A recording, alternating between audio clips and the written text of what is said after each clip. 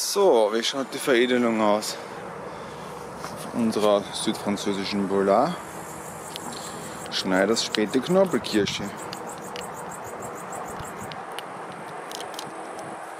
Nach einem Jahr. Wir werden sehen.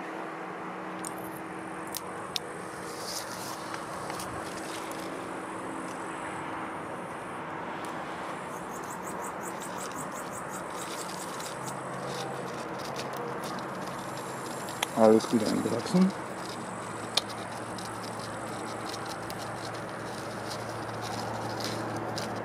Einwandfrei beheilt.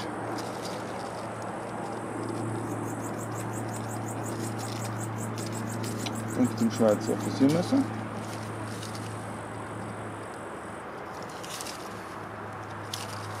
Alles in Ordnung. Gutes Wachsen.